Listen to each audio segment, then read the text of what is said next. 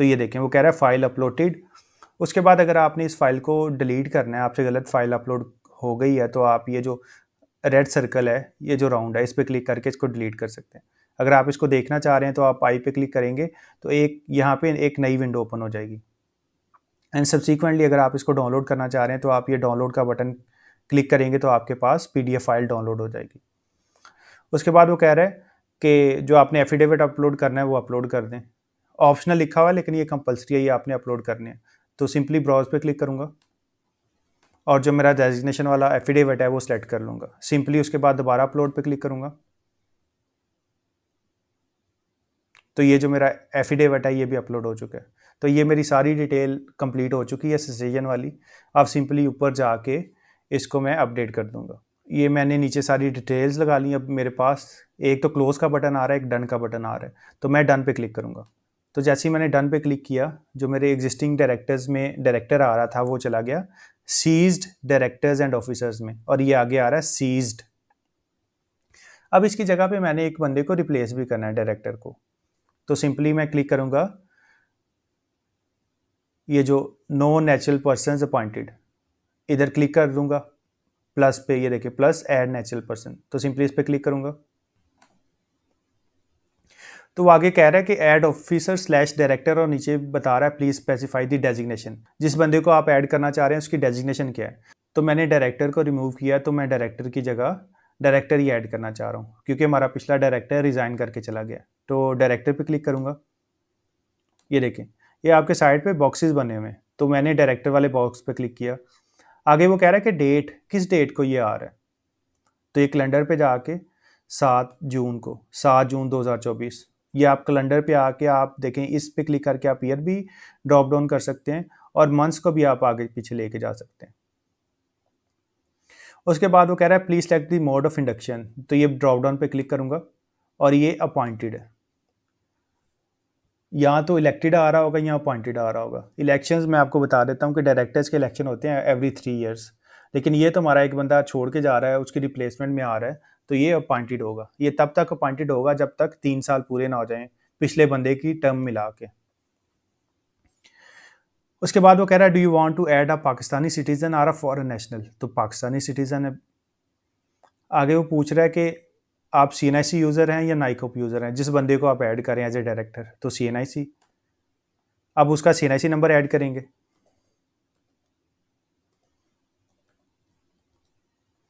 C N add जैसे ही आपने add किया, ये सर्च का बटन आ गया तो सर्च पे क्लिक करूँगा। तो जैसे ही मैंने सर्च पे क्लिक किया, उस बंदे की सारी डिटेल्स आ गई। तो आपने कोशिश करनी है कि जैसे ही, जिस बंदे को आपने नया डायरेक्टर ऐड करना है, आपने उसका S S C P leave पे साइन अप कर लेना है। जब आप उसका साइन अप कर लेंगे, उसकी सारी डिटेल्स ऑटोमेटिकली आ रही होगी। तो आपने इस बंदे को साइन अप कर लेना है पहले। अगर साइन अप नहीं करेंगे तो आपको सारी डिटेल्स मैनुअली ऐड करनी पड़ेगी। तो आपने पहले साइन अप कर लेना है, जो नया बंदा डायरेक्टर बन रहा है।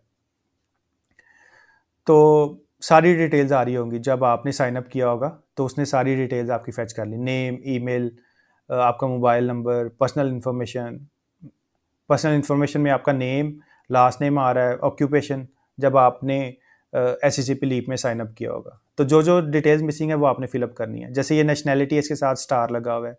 नेचर ऑफ़ डायरेक्टरशिप के साथ स्टार लगा हुआ है।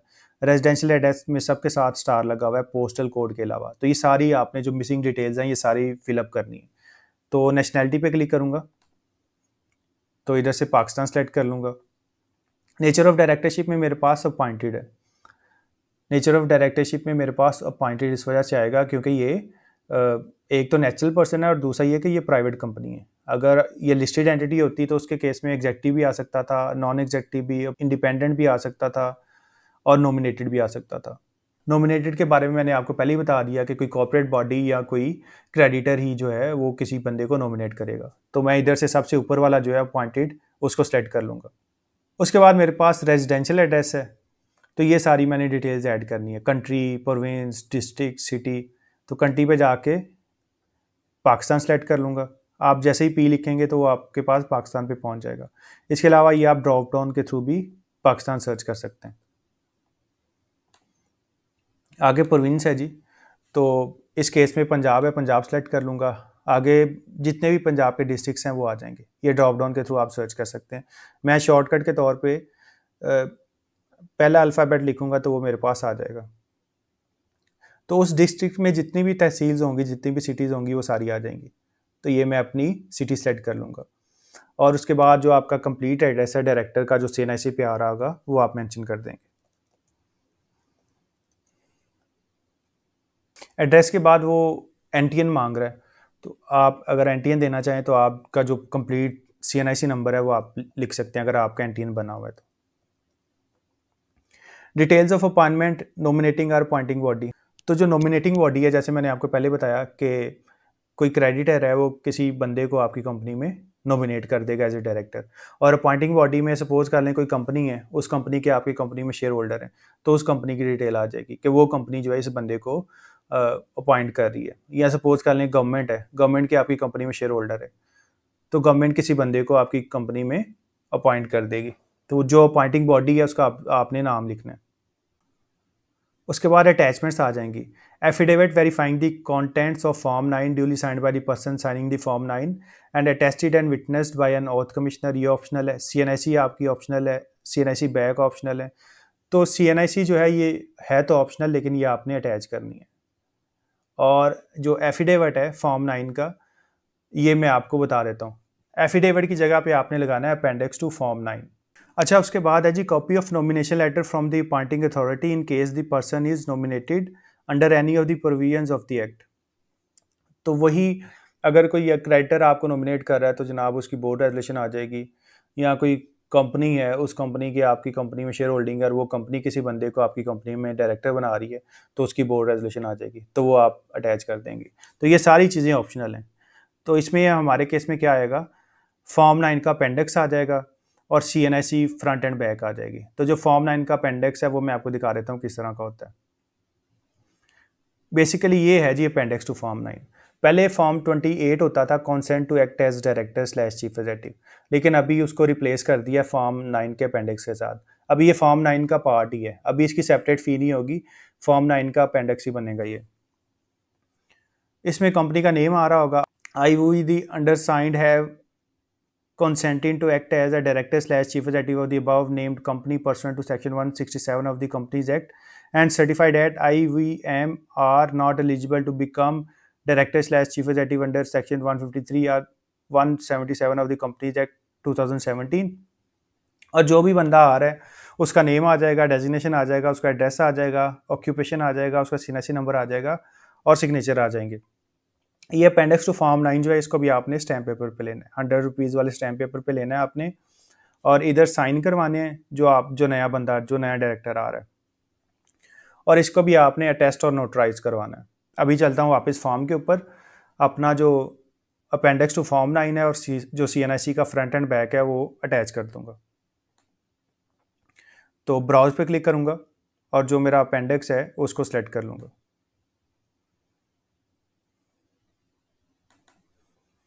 तो ये मेरा अपेंडिक्स आ गया और दोबारा अपलोड पे क्लिक करूँगा।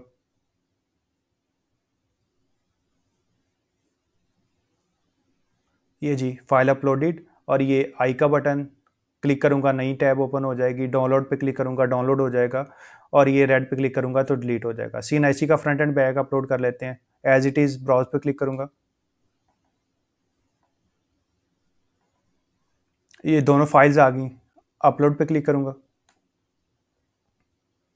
तो ये देखें, ये सारी फाइल्स मेरी अपलोड हो चुकी हैं। उसके बाद आपने क्या करना है? Validate user information information is valid kindly proceed with add and notify information valid हो चुकी है, अब सबसे ऊपर जाएँगे और इसको ऐड एंड नोटिफाई कर देंगे। तो सबसे ऊपर चलता हूँ और ये क्लोज का बटन है, उसके बाद ये ब्लू कलर का टैब आ रहा है add and notify add and notify पे क्लिक करूँगा। तो जैसे ही मैंने एड एंड नोटिफाई पे क्लिक किया, ये देखें, ये मेरे पास डायरेक्टर्स में नया डायरेक्टर आ गया। नेम आ जाएगा C N I C mobile number, email, आपका एड्रेस आ जाएगा। तो इस तरह से आप जो डायरेक्टर है, आप उसको ऐड कर सकते हैं। अगर थोड़ा सा मैं नीचे जाऊँ तो ये देखें, डेजिग्नेशन आ गई, डेट ऑफ़ अपॉइंटमेंट आ गई उसकी, जून सात, दो हज़ार चौबीस, और मोड ऑफ़ अपॉइंटेड में अपॉइंटेड आ गया। ऐसे ही मैं नीचे आ गया सीज डायरेक्टर्स एंड ऑफिसर्स तो जो मेरा डायरेक्टर सीज हो चुका है, उसकी डिटेल आ गई सारी। नेम आ गया, मोबाइल नंबर, ईमेल और आगे डेजिनेशन में डायरेक्टर डेट ऑफ़ सिसीजन में मेरी जून सात दो हज़ार चौबीस। तो जून सात दो हज़ार चौबीस को एक आ रहा है और एक जा रहा है और मोड ऑफ़ सिसीजन में रिज़ाइन कर गया ऊपर मोड ऑफ़ अपॉइंटमेंट है और नीचे मोड ऑफ़ सिसीजन है। तो एक डायरेक्टर गया और उसकी जगह मेरा नया डायरेक्टर आ गया। अभी मैंने ऐड करना है ऑडिटर को। तो मैं आपको बताता हूँ कि ऑडिटर को आपने कैसे ऐड करना है। तो ऊपर आ जाऊँगा। तो ये आ रहा है। No new auditor slash legal adviser firms appointed please add a new body corporate by clicking the button below तो अगर आपने ऑडिटर अपॉइंट करना है तो आपने ऐड बॉडी कॉपरेट पे क्लिक कर देना है। ये जो प्लस का बटन बना हुआ है। तो इस पर क्लिक करूँगा। आगे वो कह रहा है ऐड बॉडी कॉपरेट ऑफिसर आगे वो कह रहा है please specify the designation of officer तो मैं ऑडिटर को अपॉइंट कर रहा हूँ तो इधर ऑडिटर पे क्लिक कर दूँगा। ये ऑडिटर के साथ, ये देखिए राउंड सर्कल बना हुआ है तो ये ऑडिटर आ गया। आगे वो कह रहा है please enter corporate unique identification slash registration number to add body corporate अगर तो आपका ऑडिटर कोई कंपनी है तो आपने उसका कंपनी का जो इनकॉपरेशन नंबर है वो दे देना है। अगर नहीं है तो एन ए लिखा होगा सिंपली आपने सर्च पे क्लिक कर देना है। तो जैसे ही आप सर्च पे क्लिक करेंगे तो ये सारी इन्फॉर्मेशन आ जाएगी। आगे आपने कंपनी जो है, जो आपकी फर्म है, उसका नेम आ जाएगा। तो आपने पूरा जो भी फर्म का नाम होगा suppose A B C and co chartered accountants वो आपने पूरा नाम लिख देना।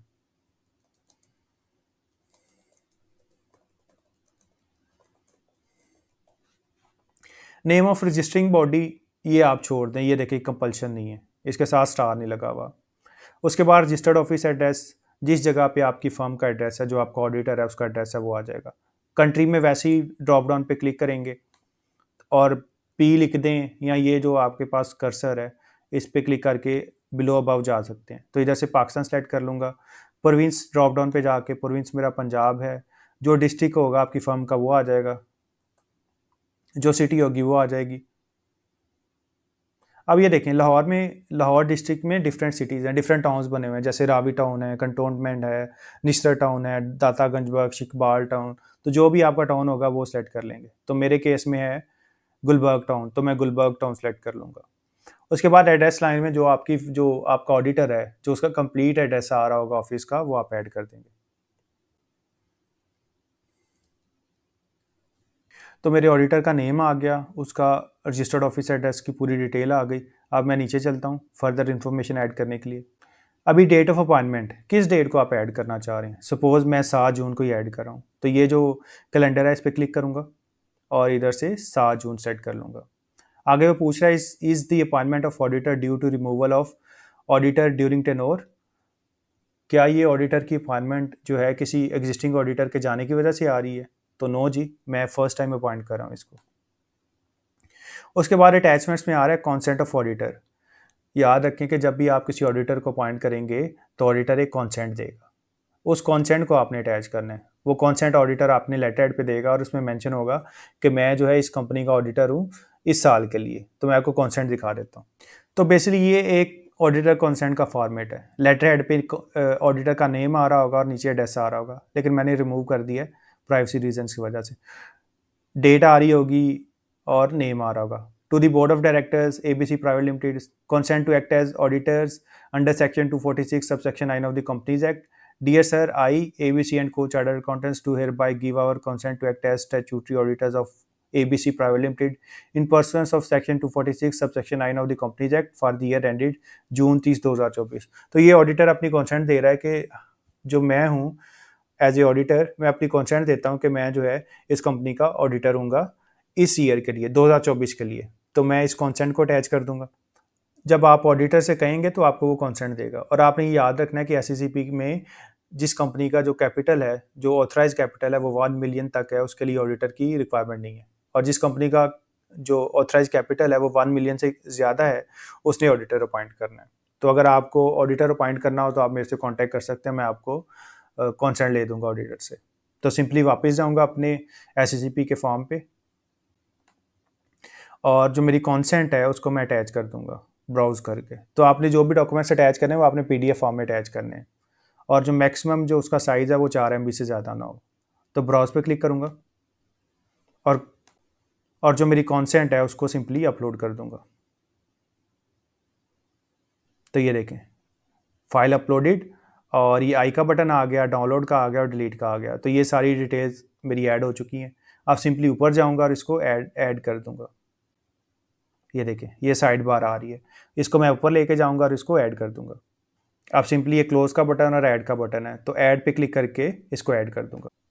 तो जैसे मैंने उसको ऐड किया तो ये देखें, पहले डायरेक्टर्स आ रहा है, उसके बाद आ रहा है आपका बॉडी कॉरपोरेट ऑफिसर्स तो नीचे चलता हूँ। तो ये देखें auditor slash legal adviser firms तो जो मेरा ऑडिटर है, उसकी डिटेल आ गई सारी। अपॉइंटमेंट डेट आ गई, उसका एड्रेस आ गया। तो इस तरह जो आप अपना ऑडिटर है, आप उसको ऐड कर सकते हैं। अब एक चीज़ में हमारे पास रहेगी लीगल एडवाइज़र तो लीगल एडवाइज़र की अपॉइंटमेंट में चलते हैं।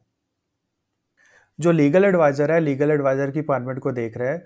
Appointment of legal advisers act 1974 जो लीगल एडवाइज़र की अपॉइंटमेंट है, वो इस एक्ट के तहत होती है। तो मैं आपको वो एक्ट दिखा देता हूँ और किन किन कंपनी के लिए कंपलसरी है कि उन्होंने लीगल एडवाइज़र अपॉइंट करना है, मैं वो भी आपको दिखा देता हूँ। तो चलिए, एक्ट पे चलते हैं। तो ये मेरे पास आ जाएगा appointment of legal advisers act 1974 तो जो इंपॉर्टेंट डेफिनेशन है वो देख लेते हैं। इसमें कंपनी आ रहा है company means a company formed and registered under the companies ordinance 1984 तो आपने याद रखना है कि कंपनीज़ ऑर्डिनेंस 1984 ऑब्सलीट हो चुका है 2017 में। अभी कंपनीज़ एक्ट 2017 कहलाएगा। तो ये सेम ही पर्पज है इसका। Having paid up capital of more than seven and half million rupees or a company limited by guarantee or an association registered under section 42 of the said ordinance तो ऐसी companies जिनका जो paid up capital है, पचहत्तर लाख से ज़्यादा है, उनके लिए कंपलसरी है कि उन्होंने लीगल एडवाइज़र अपॉइंट करना ही करना है। चाहे उनका कोई लीगल इशू आए ना आए, उन्होंने लीगल एडवाइज़र अपॉइंट करना ही करना है। उसके अलावा ऐसी कंपनीज़ जो लिमिटेड बाय गारंटीज़ हैं, कुछ कंपनीज़ का कैपिटल नहीं होता, वो लिमिटेड बाय गारंटी होती हैं। तो उनके केस में भी कंपलसरी है और जो नॉन प्रॉफिट ऑर्गेनाइजेशन हैं, आपकी जो एन एन जी ओज़ हैं, वो एस में रजिस्टर होती हैं अंडर सेक्शन 42 तो एन पी ओज़ के लिए भी कंपलसरी है कि उन्होंने लीगल एडवाइज़र अपॉइंट करना ही करना है। आगे रिटेनर पे चलते हैं। रिटेनर से मुराद उसकी फ़ी कितनी होगी? Every legal adviser appointed by company shall be paid a retainer which shall not be less than five thousand rupees per mensem or such higher amount as may be notified by the federal government in the official gazette जो आपने legal adviser appoint करना है, जनाब, आपने उसको पाँच हज़ार रुपया पर मंथ जो है, उसकी रिटेनरशिप फ़ी देनी है। यानी कि उसकी फ़ी जो फ़ी समझ लें, उसकी सैलरी समझ लें, वो पाँच हज़ार से कम नहीं होगी। आगे है जी who may not be appointed legal adviser कौन है जो लीगल एडवाइजर अपॉइंट नहीं हो सकता? A company shall not appoint an advocate or or registered firm to be its legal adviser if upon such appointment the number of companies of which such advocate or firm is a legal adviser will exceed the case of the advocate 3 or in case of a firm the product of 3 and the total number of partners of the firm. अगर कोई advocate तीन companies में पहले ही legal adviser है तो वो further companies में legal adviser appoint नहीं हो सकता। और फर्म का भी वही केस है कि अगर फर्म में पार्टनर्स हैं तो हर पार्टनर जो है वो तीन से ज़्यादा कंपनीज़ का लीगल एडवाइज़र अपॉइंट नहीं हो सकता। तो ये बात आपने याद रखनी है, जिस भी आप एडवोकेट को, जिस भी लॉयर को आप अपॉइंट करें, वो पहले से तीन कंपनीज़ में लीगल एडवाइज़र अपॉइंट ना हो, वरना आपके लिए इशूज़ हो सकते हैं। उसके बाद जो लीगल एडवाइज़र की अपॉइंटमेंट है, उसके कुछ रूल्स हैं। मतलब कि अगर आपने किसी को लीगल एडवाइज़र अपॉइंट करना है तो आपने कौन कौन सी चीज़ें साथ में अटैच करनी है? तो वो मैं आपको दिखा देता हूँ। अभी हम चलते हैं appointment of legal adviser rules 1975 1975 के रूल्स बने हुए ये। तो ये मैं आपको दिखा देता हूँ।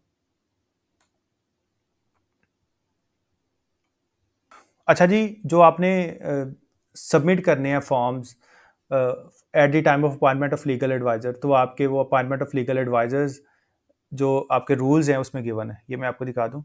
Appointment of legal advisers rules 1975 तो ये इसमें गिवन है। तो मैं आपको दिखा देता हूँ। स्केजूल वन है जी।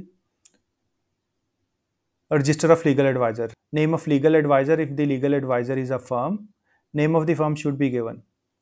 तो लीगल एडवाइज़र का नेम आ जाएगा। अगर लीगल एडवाइज़र फर्म है तो फर्म का पूरा नेम आ जाएगा। जो भी है, जैसे ए बी सी सोलिसिटर्स या जो भी आपकी फर्म का नेम है। लॉयज़ की फर्म जैसी ही होती है ना सोलिसिटर्स या लॉ चैम्बर्स या वट्स जो भी नाम है। Number of partners in case of a firm firm के केस में कितने पार्टनर हैं? एक लॉ फॉर्म में तो दस बीस पचास जितने भी पार्टनर हैं, उन सबका नंबर आ जाएगा कि सपोज़ इस फॉर्म में दस पार्टनर है। रिमनरेशन तो पाँच हज़ार कम से कम रिमनरेशन है पर मंथ एड्रेस आ जाएगा। डेट ऑफ़ अपॉइंटमेंट किस डेट को अपॉइंट कर रहे हैं? तो हमारे केस में तो वही सात जून। Date of termination of appointment तो इधर कुछ भी नहीं आएगा।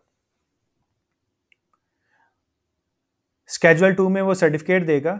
कि वो तीन से ज़्यादा फर्म में जो है वो लीगल एडवाइज़र नहीं है। आई वी अगर आई अगर वो इंडिविजुअल है, किसी फर्म में नहीं है तो उसका नेम आ जाएगा वी में फर्म का नाम आ जाएगा।